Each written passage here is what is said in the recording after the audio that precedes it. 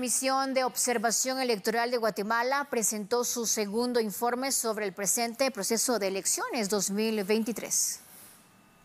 MOEGT presentó un segundo informe llamado Estado del proceso al inicio de la campaña electoral. En él resaltan el desempeño del Tribunal Supremo Electoral, empadronamiento, capacitación, entre otros aspectos relacionados al proceso de elecciones del presente año. En este abordamos el cierre del padrón electoral, la inscripción a binomios presidenciales hasta el 20 de marzo.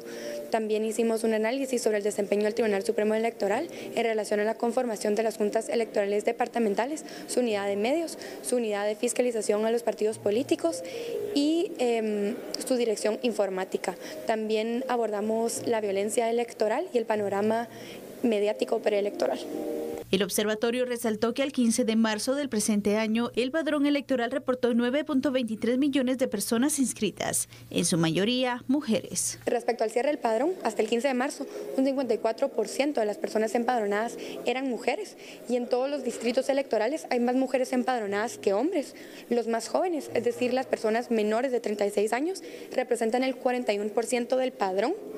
Sin embargo, el padrón no refleja eh, la población, pues subrepresenta este grupo, quienes deberían constituirse como el 54% del padrón.